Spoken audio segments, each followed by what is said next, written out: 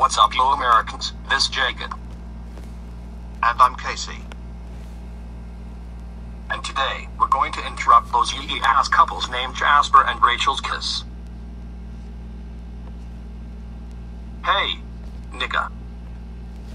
You are so stupid.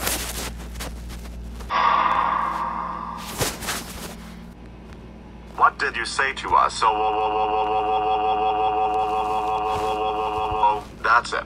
Go the fuck home while we call your parents. Are you kidding me right now, Jacob and Casey? You called Jasper and Rachel the N-word, and then interrupting their kiss. That's it. You are grounded, grounded, grounded, grounded, grounded, grounded, grounded, grounded, grounded, grounded, grounded, grounded, grounded until you're both 40 years old. And for your punishment, we call some over here to beat you up. It can't be. That guy already beat me up for insulting our grandpa. Well, maybe your ass shouldn't be in goddamn trouble. Get the fuck over here.